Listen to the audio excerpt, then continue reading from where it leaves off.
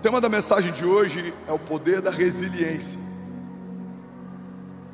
Já falamos sobre o poder da oração, poder da entrega. Falamos sobre e vamos falar sobre o poder da fé, o poder da palavra, mas hoje eu quero falar sobre algo que se você ainda não usou, certamente em algum momento da tua jornada você vai precisar usar. Resiliência, segundo o dicionário, é a propriedade que alguns corpos apresentam de retornar à forma original depois de terem sido submetidos a alguma deformação. Segundo o significado de resiliência, segundo o dicionário, é que resiliência é a capacidade de se recobrar facilmente ou adaptar-se a uma má sorte ou a mudanças. A palavra resiliência vem da etimologia da língua inglesa, resilience, que significa elasticidade. Eu estava lendo isso nessa madrugada, preparando a mensagem, e eu lembrei de algo que eu ouvi uma vez e me marcou para sempre: um produtor de trigo, e ele estava num campo lindo de trigo, e aí o entrevistador perguntou para ele: é possível discernir o trigo e o joio enquanto estão plantados? Ele falou: Olha, para quem é leigo é muito difícil, porque os dois se parecem demais, mas tem uma coisa que deixa muito claro o que é joio e o que é trigo. E o entrevistador perguntou: O que, que é? Ele disse: É quando o vento forte bate sobre a plantação. O trigo se dobra com facilidade, mas o joio resiste e permanece. A palavra de Deus, em alguns momentos, vai usar essa analogia para falar a respeito de quem nós somos. Somos como trigo somos levados por alguns desafios, às vezes o vento forte bate na nossa casa, em alguns momentos estamos enfrentando tempestades, mas nós sabemos a quem nos curvamos e é por conta disso que nos levantamos quando o dia mal passa. Levante suas mãos em nome de Jesus, declara comigo, diga: o meu choro pode durar uma noite, mas certamente a alegria vem pela manhã. Alguém pode dizer glória a Deus por isso?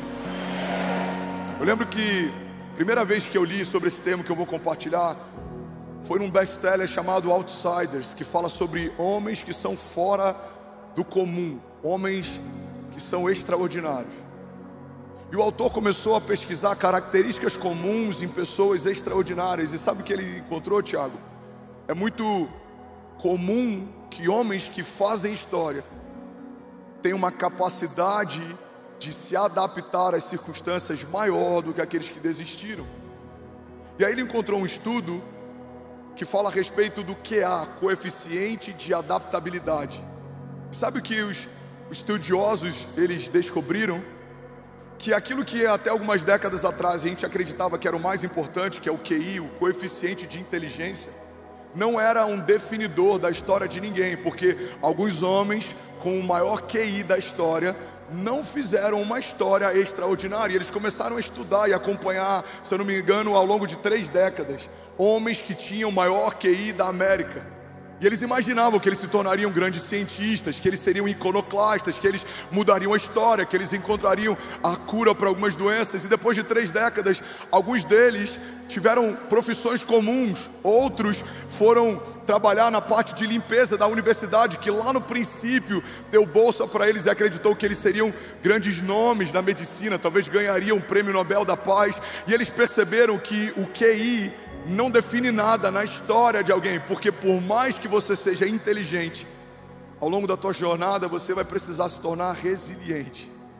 O dia mal vem, algumas portas se fecham, gigantes se levantam, e é por isso que a igreja de Jesus é tão poderosa, mesmo sendo formada por tantos improváveis.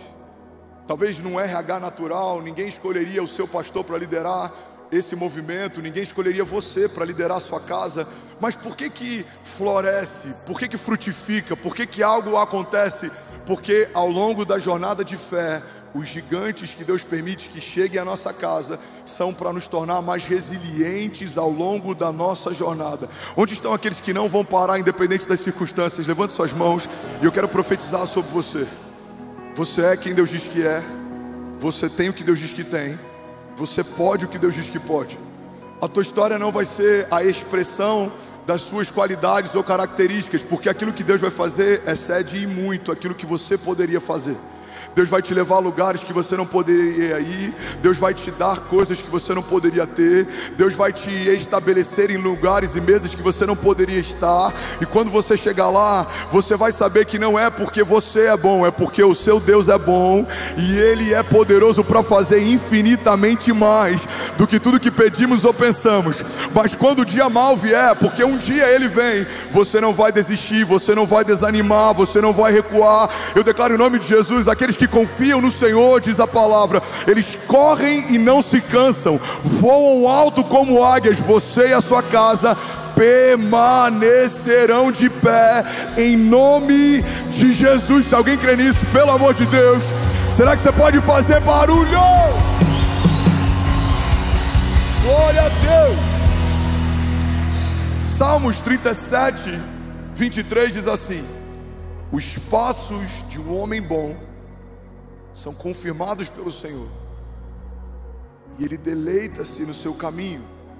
E aqui eu quero que você preste atenção, versículo 24. E ainda que caia, não ficará prostrado, porque o Senhor o sustém com a sua mão. Vamos ler isso junto. Versículo 23. Vamos lá?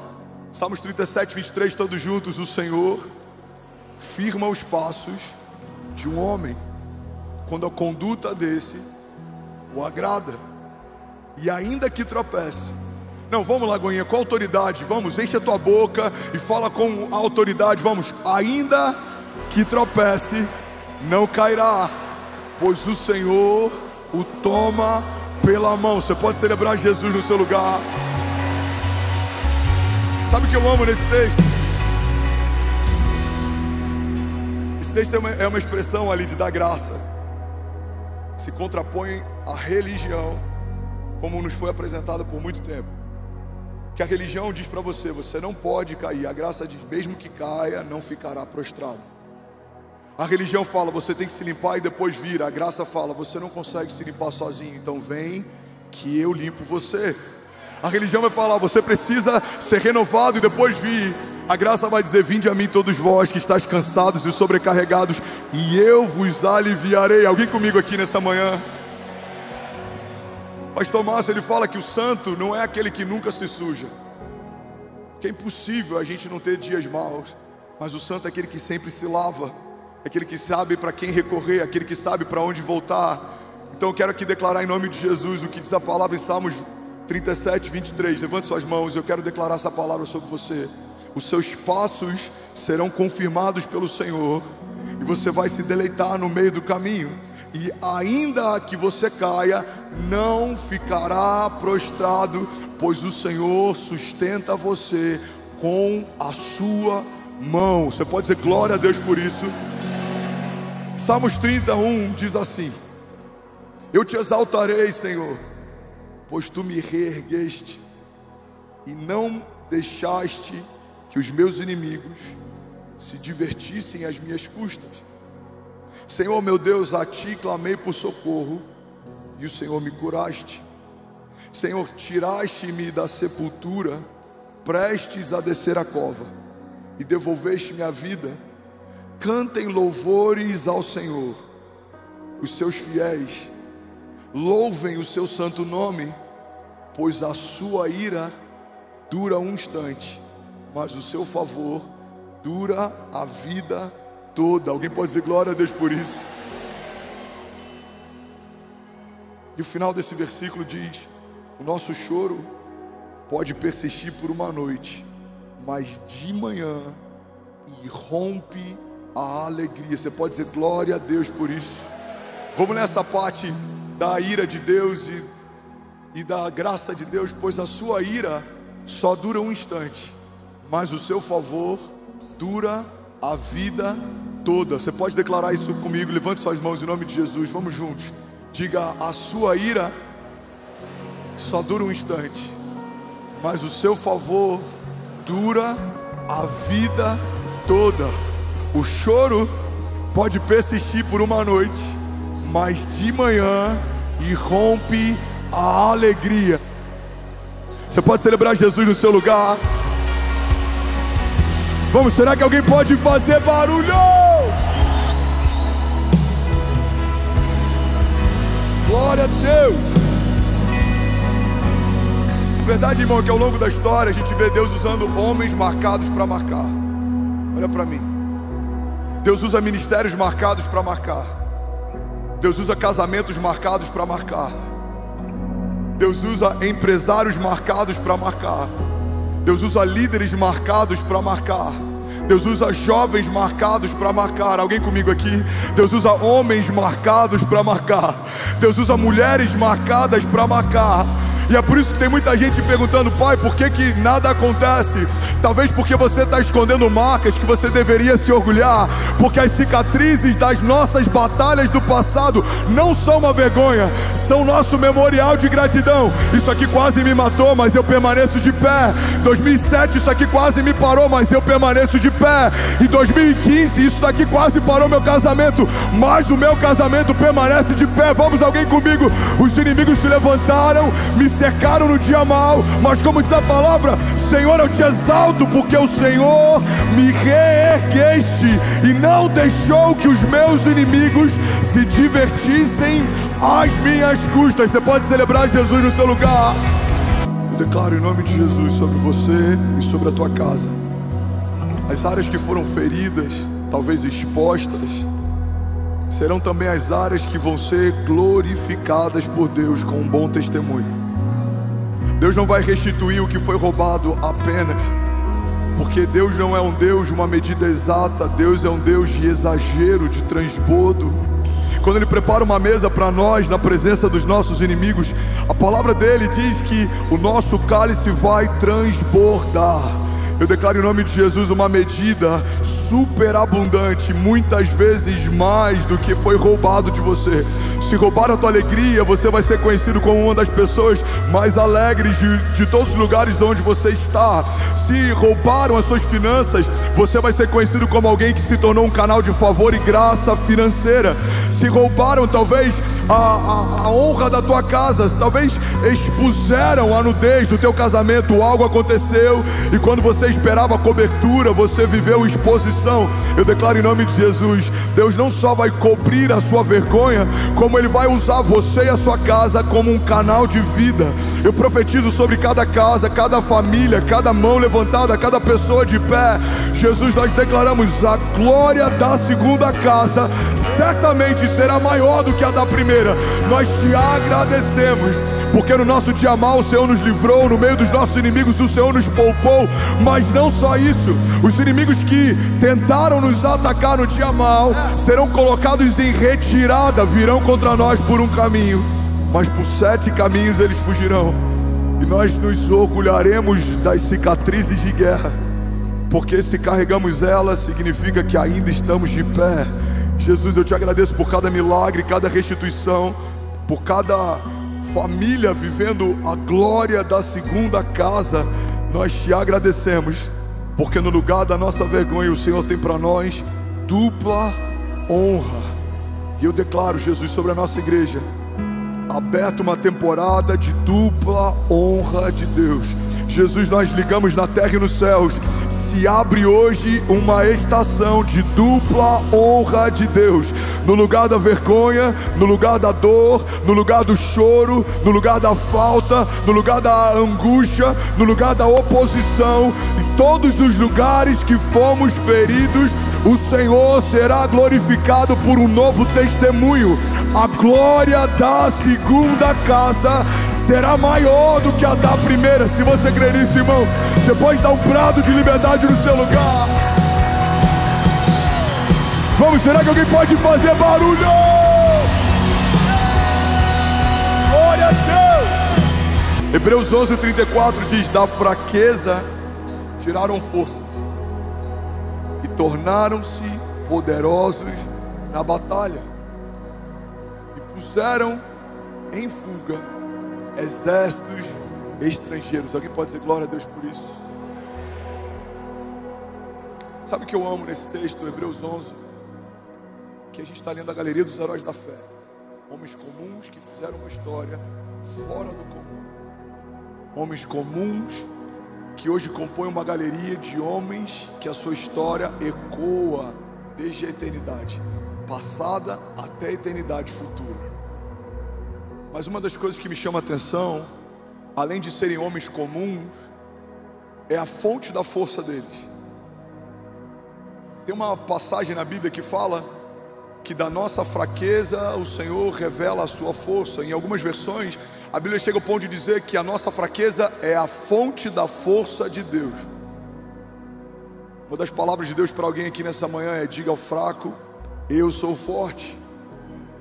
Sabe, talvez no seu dia mal você se encontrou fraco, mas é nesse lugar que opera a força de Deus é para que ninguém se vanglorie, é para que ninguém confie em si mesmo, é para que ninguém tenha uma expectativa naquilo que pode. Irmão, olha para mim, é por isso que muitas vezes nós estamos diante de uma batalha, procuramos no nosso espelho uma resposta e saímos desanimados para guerrear, porque você olha para você e procura em você respostas que justifiquem a sua esperança, mas não é sobre você.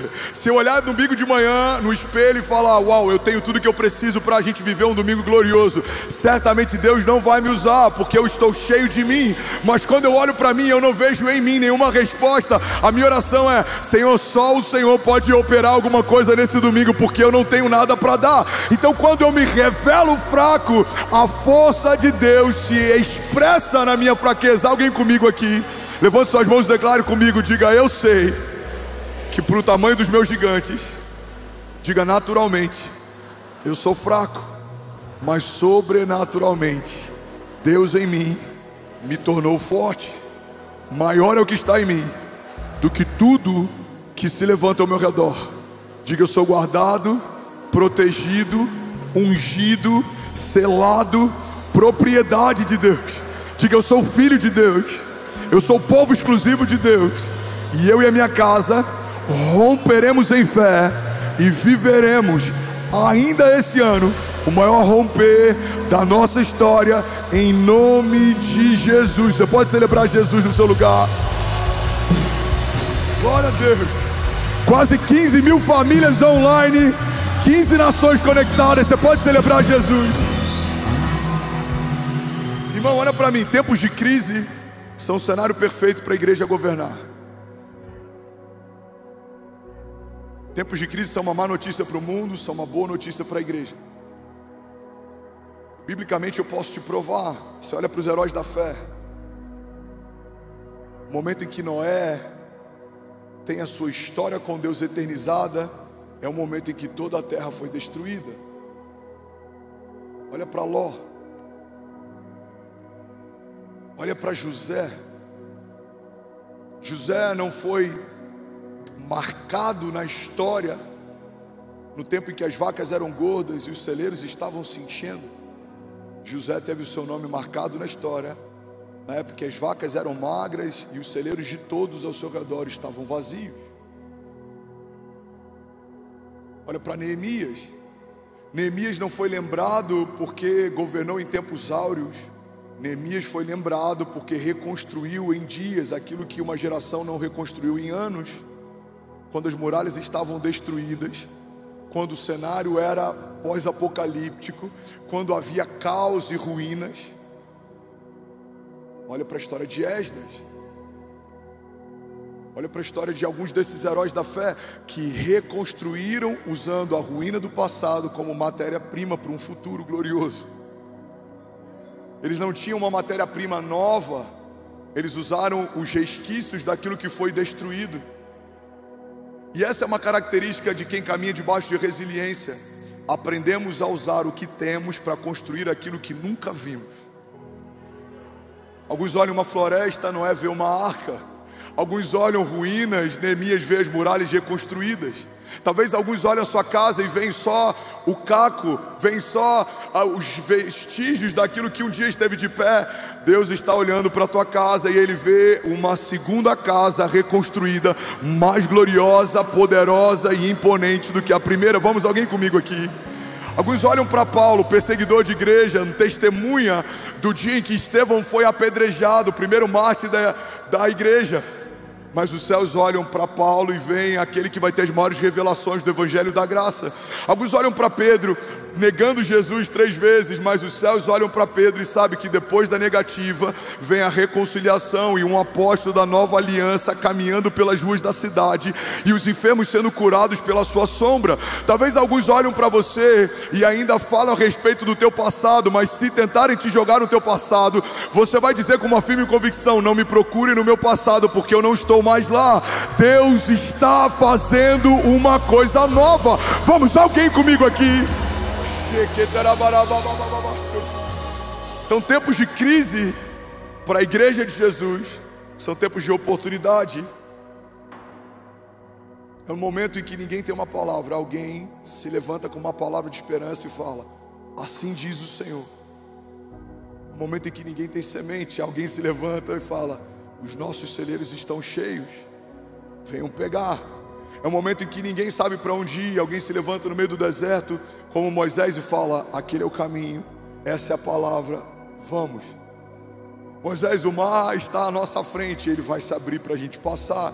Moisés, passamos do mar vermelho, mas agora não temos comida, a comida vai descer do céu. Mas e os calçados não se desgastarão, mas e as roupas não se puirão, mas e os inimigos serão vencidos, por quê? Porque existe alguém que ouviu algo de Deus no momento de caos e está governando no meio de tribulações e desertos. Você poderia gerir a tua família em tempos de fartura, poderia permanecer alegre quando tudo vai bem, poderia manter a tua esperança viva quando tudo coopera, mas só um homem de Deus consegue permanecer resiliente quando portas se fecham, quando inimigos se ajuntam, como tempestades são geradas. Vamos, alguém comigo? Quando os ventos são fortes, é nesse cenário que são separados meninos de homens. Os meninos na fé são aqueles que acreditaram em algum momento que caminhar com Jesus significa ausência de tempestades, de inimigos, de gigantes, mas os homens de Deus são aqueles que entenderam que caminhar por fé significa ausência de derrotas. Nós somos mais do que vencedores em Cristo Jesus, mas teremos batalhas, certamente veremos Deus vencendo cada uma delas. Alguém comigo aqui? Fala comigo, tempos de crise são um cenário perfeito para a igreja de Jesus governar. Vamos, agora fale mais uma vez como quem crê nisso. Levante suas mãos e diga: tempos de crise. Não, pode ser melhor que isso. Você sabe, pode ser melhor. Levante suas mãos e profetiza sobre o teu futuro. Diga: tempos de crise são um cenário perfeito para a igreja de Jesus governar. Você pode celebrar Jesus no seu lugar. Aleluia. Alexandre o Grande tem uma citação que para mim é a expressão da igreja. Ele diz assim: Não tenho medo de um exército de leões liderados por uma ovelha, mas eu tenho medo de um exército de ovelhas liderados por um leão. Essa é a igreja, um exército de ovelhas liderados pelo leão da tribo de Judá. Essa citação é tão poderosa, porque um exército de leões, por mais que sejam indomáveis, indomesticáveis, poderosos, se existe uma ovelha liderando, se moverão com temor, com medo, com covardia, mas se são ovelhas, talvez frágeis, sem muitos mecanismos de defesa, mas são lideradas por um leão, se moverão com ousadia. Tem uma outra passagem que eu amo, já citei aqui algumas vezes. A Bíblia diz que os ímpios fogem sem que haja ninguém a persegui-los, mas os justos são ousados como um leão. Tem alguém aqui que é ousado como um leão para enfrentar as dificuldades? Vamos, levante suas mãos. O que é resiliência, pastor? Resiliência significa aprender a reinar sobre o caos. Resiliência significa se levantar, independente de quantas vezes eu tenha caído. Resiliência significa não aceitar que o meu momento define o meu destino, entender que o que está acontecendo é passageiro, mas existe um destino que Deus preparou para mim. Resiliência significa não olhar para aquilo que os meus olhos naturais veem, mas olhar para aquilo que só pela fé eu posso enxergar. Resiliência significa crer no inacreditável, acreditar no impossível, se mover por fé. Resiliência fala a respeito de homens que são afrontados afrontados, perseguidos, às vezes até caluniados, mas não desistirão até que se cumpra uma palavra que Deus te deu. Uma das frases que a Kezinha usa, uma das chaves que Deus deu para ela que eu mais amo, é que a fé prospera no desconforto. Fala para quem está do seu lado, a fé prospera no desconforto. Vamos, sacode alguém do outro lado para ninguém ficar enciumado. Fala para ele, meu irmão, a fé prospera no desconforto. Danilo, tua fé tem prosperado no desconforto, no seu dia mal, ela brota como uma fonte de vida, e quanto mais te secam, mais você tem encontrado em Deus força. Você, você recebe isso em nome de Jesus? Quantos recebe isso aqui em nome de Jesus? A tua fé vai prosperar no desconforto. Tem algo mais desconfortável do que estar diante de uma multidão de milhares de pessoas e não ter comida? Existe fome, existe calor, existe sede.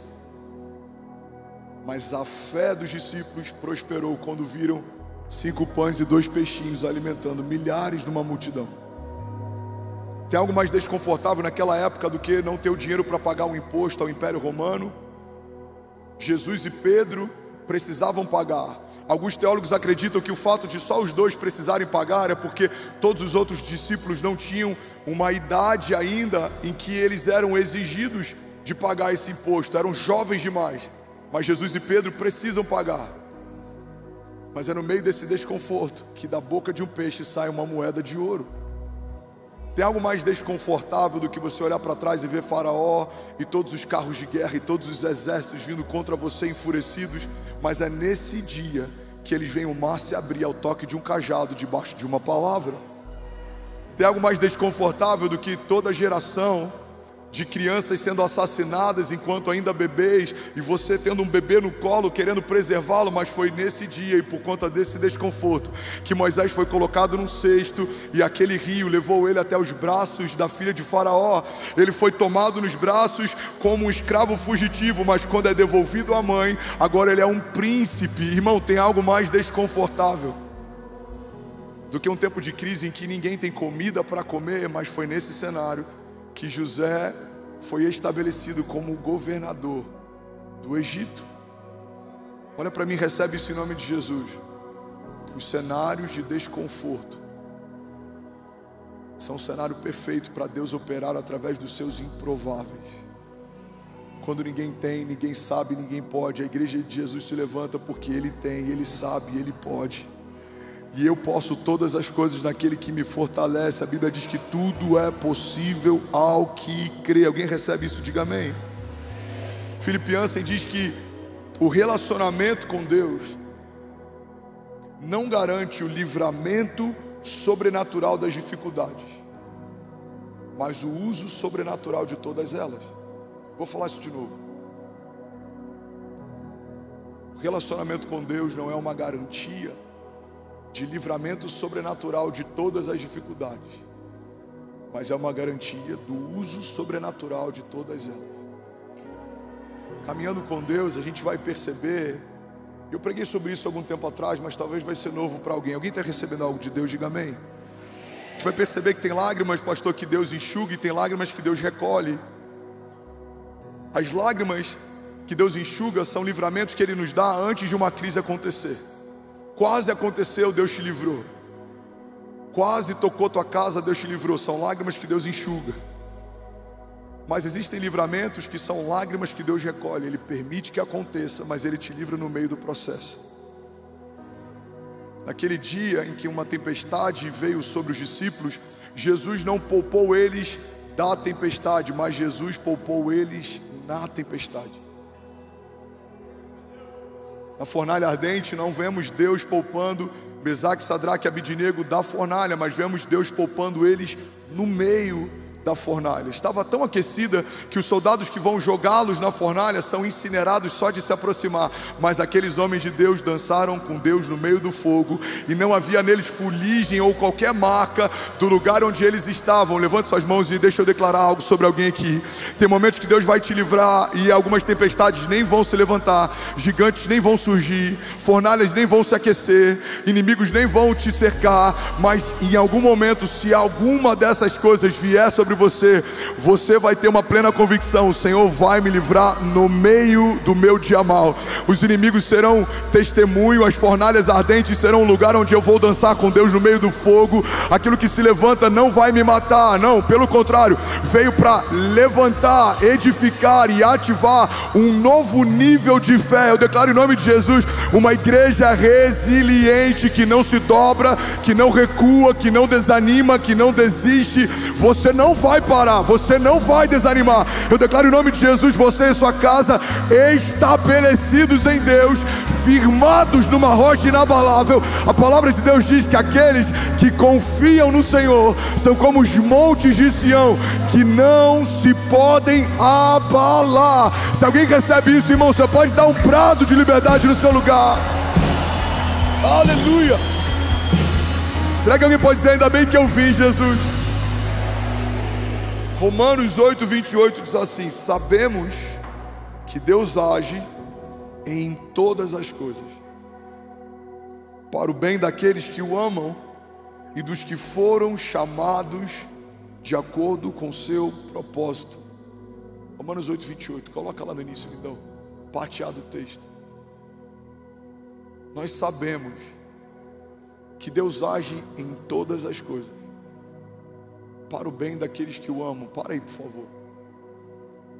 Sabe o que é interessante? A Bíblia é tão rica que se a gente for pegar cada versículo, dá para fazer uma série sobre cada versículo da Bíblia. Algum tempo atrás eu fiz uma série sobre Salmos e a gente fez uma pregação expositiva, versículo a versículo, de alguns dos salmos mais conhecidos. Alguém lembra dessa série? Alguém assistiu alguma parte? Uau, foi tão poderoso que Deus fez. Porque muitas vezes a gente lê a Bíblia como se fosse uma alegoria, ou como se fosse um, um conjunto de fábulas. Mas a Bíblia não contém a palavra de Deus, a Bíblia é o próprio Deus. A Bíblia se revela enquanto a gente lê, a Bíblia carrega as chaves que a gente precisa para viver uma disrupção. Esse texto, por exemplo, uma das primeiras coisas que me chama a atenção é que ele começa dizendo que nós sabemos. Irmão, só consegue se manter resiliente quem vive pelo que sabe e não por aquilo que sente. A fé não é o que eu sinto sobre quem Deus é, a fé é o que eu sei sobre quem Deus é. Eu não sinto que Ele é bom, eu sei que Ele é bom. Eu não sinto que Ele vai me livrar, eu sei que Ele vai me livrar. Eu não sinto que Ele vai, que vai me prosperar, eu sei que o Senhor vai me prosperar. É uma promessa, Provérbios 11, 25: generoso prosperará. Eu não sinto que Ele vai guardar os meus filhos, eu sei que Ele vai guardar os meus filhos, porque existe uma promessa de uma bênção geracional sobre aqueles que estão em Cristo Jesus. A maldição hereditária foi quebrada e deixada no passado, mas uma bênção geracional surgiu e foi liberada sobre o futuro. Os seus filhos, os filhos dos seus filhos e os filhos dos filhos dos seus filhos, até a milésima geração, estarão debaixo da bênção de Deus. Alguém comigo aqui, diga amém. A fé não é para quem sente. Porque sentimento é volúvel, sentimento é transitório, sentimento é passageiro, sentimento é enganoso. Se você recebe um diagnóstico de câncer, talvez você sinta que as coisas não vão bem, mas isso é só um sentimento. Você quer um exemplo, irmão? O que, que você sente quando um gigante se levanta? Você sente medo, porque medo é aquilo que nós sentimos, mas quem você é? Você é filho de Deus, o filho do leão da tribo de Judá. Então a gente precisa parar de se mover por aquilo que sente, porque o que você sente hoje não é o que você vai sentir amanhã. Talvez você saia daqui sentindo que tudo vai ficar bem, mas uma mensagem pela manhã pode fazer você sentir que talvez as coisas não vão ser tão boas assim. A fé não é o que se sente, a fé é o que se sabe. Alguém comigo aqui, diga amém. Coloca o texto, lindão, por favor. E a Bíblia diz: Nós sabemos que Deus age em todas as coisas. Fala comigo, todas as coisas. Você sabia que a palavra todas no original significa todas? Uau, que revelamento revelado. Fala comigo, uau.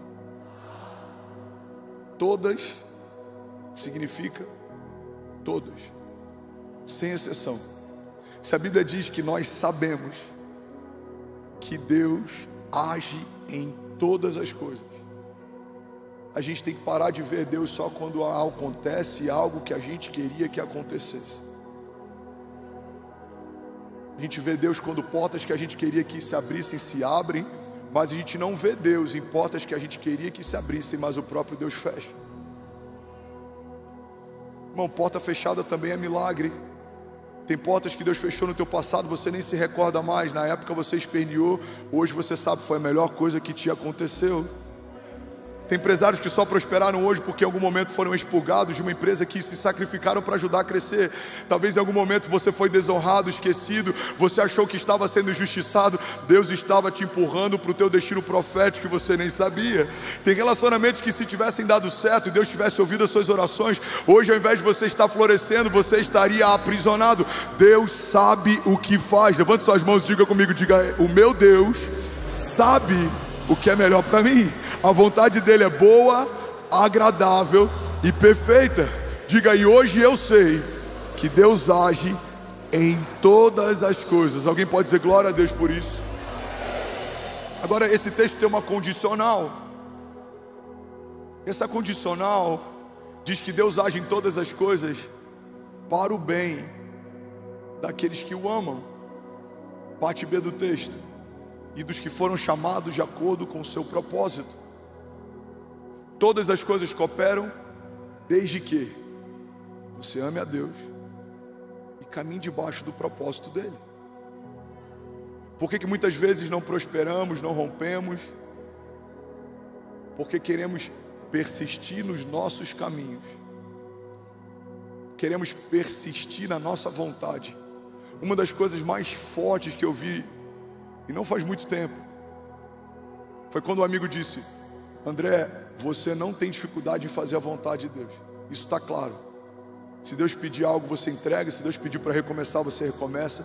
O seu grande desafio não vai ser fazer a vontade de Deus, vai ser não fazer as suas.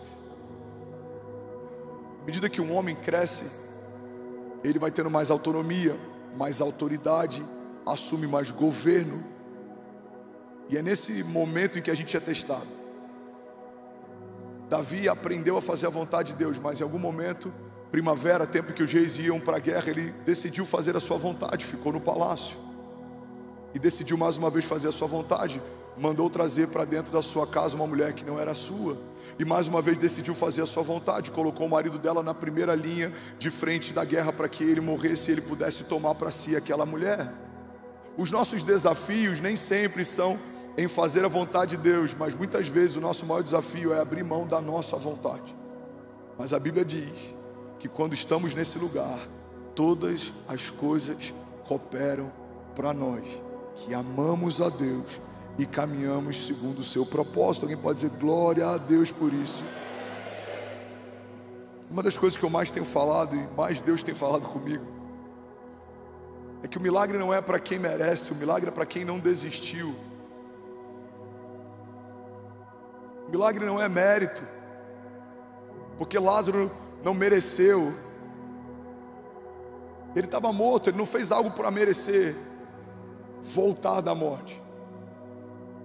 A filha de Jairo não mereceu, ela já estava morta, não tinha nada para fazer, merecer ressuscitar.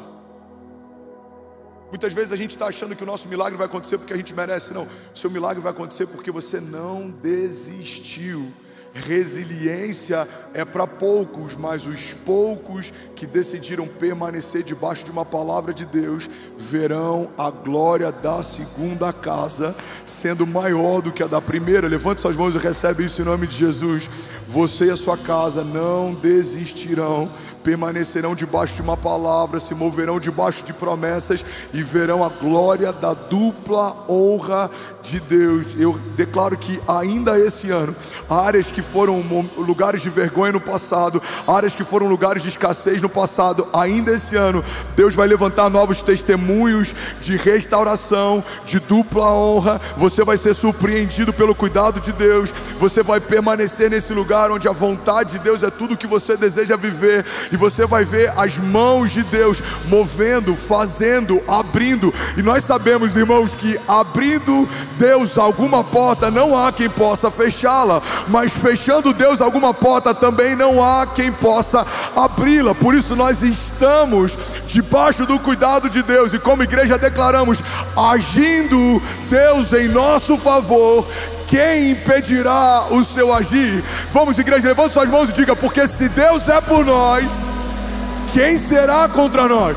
Você pode levantar suas mãos e declarar isso mais uma vez. Diga: se Deus é por nós, vamos, pode ser melhor. Diga: se Deus é por nós, vamos, Lagoinha, diga: se Deus é por nós, quem será contra nós?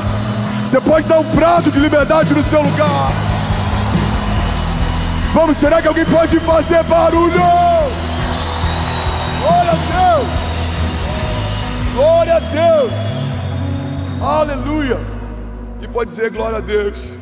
Será que alguém pode dizer ainda bem que eu vim, Jesus? Meu tempo acabou, mas a mensagem não. Como é que a gente faz? Alguém consegue ouvir mais 10 minutos dessa mensagem? Hebreus 10, 36 diz assim: vocês precisam perseverar, de modo que, quando tiverem feito a vontade de Deus, recebam o que Ele prometeu. Olha para mim, preste atenção, irmão. Isso daqui é uma condicional. É por isso que milagre não é para todo mundo, é para quem não desistiu.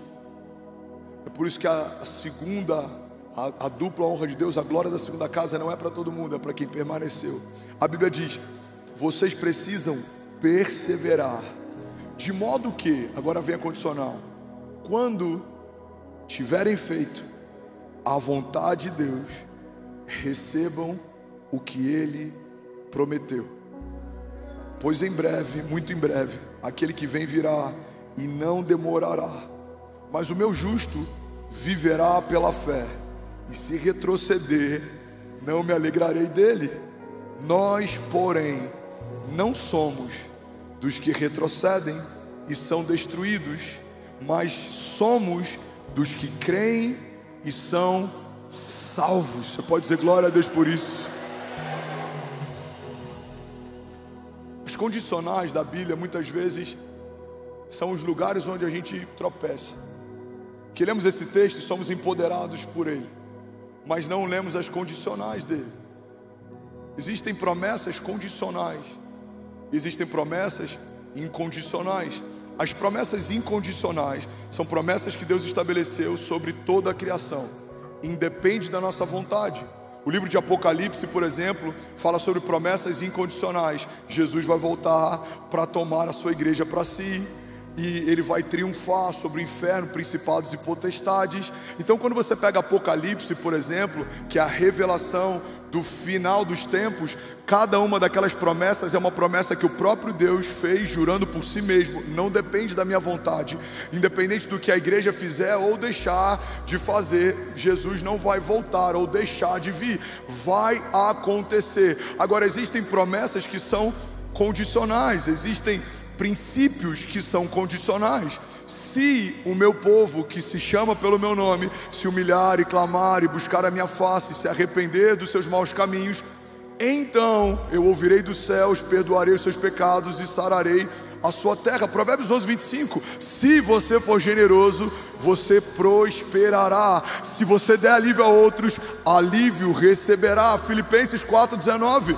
Os versículos anteriores falam a respeito de uma igreja que financia a expansão do evangelho em tempos de crise. Filipenses 4, 19. Vem então uma promessa: o meu Deus suprirá todas as suas necessidades segundo as suas riquezas em glória. E nesse texto que a palavra de Deus está dizendo, Hebreus 10, 36 é que precisamos perseverar, de modo que quando tivermos feito a vontade de Deus, receberemos o que Ele prometeu. Alguém pode dizer glória a Deus por isso? Colossenses 1, 22 diz: Mas agora, Ele os reconciliou pelo corpo físico de Jesus, mediante a morte, para apresentá-los diante dele, santos, inculpáveis e livres de qualquer acusação. Agora vem a condicional. Desde que continuem alicerçados e firmes na fé, sem se afastarem da esperança do Evangelho, que vocês ouviram e que tem sido proclamado a todos os que estão debaixo dos céus. Alguém pode dizer glória a Deus por isso? Essa é uma promessa tão poderosa. Deus está prometendo algo para a gente, mas existe uma condicional. Você precisa continuar alicerçado na fé. Recebe isso aqui como se fosse o próprio Deus falando para você nessa manhã, filho. Você precisa continuar alicerçado na fé. Você não pode se afastar da esperança do Evangelho que um dia você ouviu. Esperança viva, ela tem um nome, é uma pessoa, se chama Jesus. E ela foi apresentada para cada um de nós. E se não foi ainda, ela está sendo apresentada para você hoje. Precisamos permanecer nesse lugar, precisamos continuar alicerçados nesse lugar, porque as coisas lá fora vão tentar fazer você se mover pelo que sente, mas Paulo diz: não nos movemos por aquilo que vemos, mas agora nos movemos por aquilo que cremos. Os meus olhos vão dizer: o mundo está em caos, mas a minha fé vai dizer: todas as coisas cooperam para o bem daqueles que amam a Deus e caminham debaixo dos seus propósitos. Os meus olhos naturais vão dizer: os inimigos são muitos, eles me cercam, mas pelos olhos da fé eu sei que o meu Deus vai me dar livramento diante de todos eles, virão por, por, contra mim por um caminho, mas por sete caminhos eles fugirão. Alguém pode dizer glória a Deus por isso? 2 Timóteo 1,7 diz: Pois Deus não nos deu espírito de covardia, mas de poder, de amor e de equilíbrio. Estou quase terminando, irmão. Alguém está recebendo algo de Deus aqui? Diga amém. Ouve isso aqui em nome de Jesus.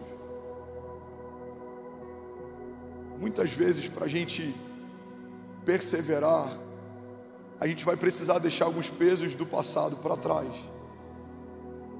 Eu quero falar de forma bem rápida sobre uma das coisas que mais gera o impedimento, inclusive na igreja, da gente acessar o novo de Deus.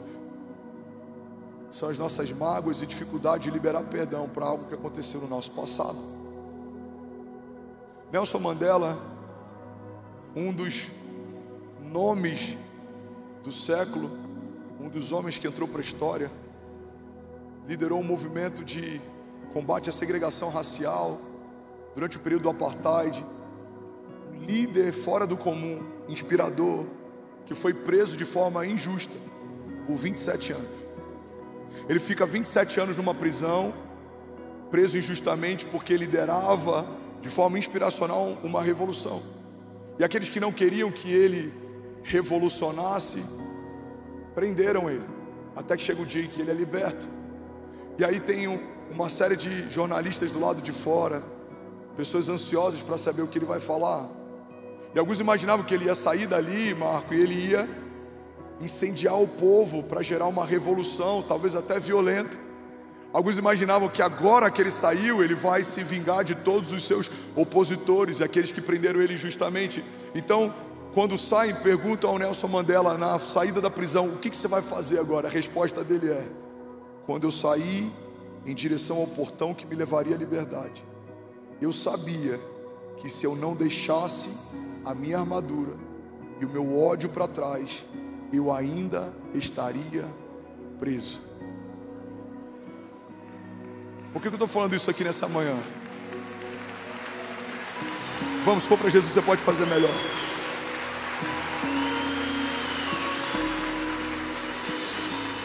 Olha para mim, recebe isso em nome de Jesus.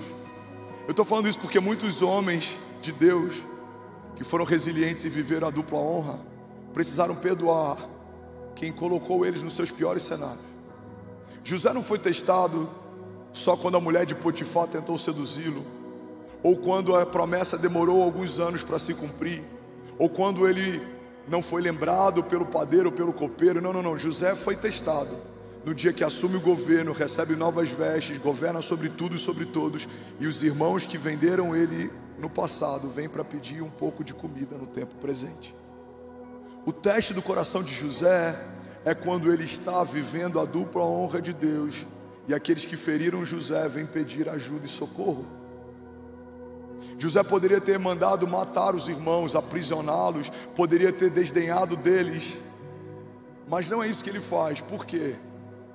Porque os resilientes aqueles que estão vivendo a glória da dupla honra de Deus, não carregam mais nenhuma ferida do passado, porque Deus está fazendo uma coisa nova.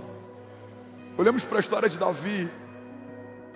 Davi, perseguido por Saul, um homem que ele amou, tocava a harpa para que os demônios saíssem de Davi e parassem de atormentá-lo. Um homem que serviu o reinado de Saul, um homem que derrubou o gigante que estava afrontando o exército num período em que Saul liderava. Ele fez de tudo para honrar o rei, mas foi perseguido de todas as formas pelo rei.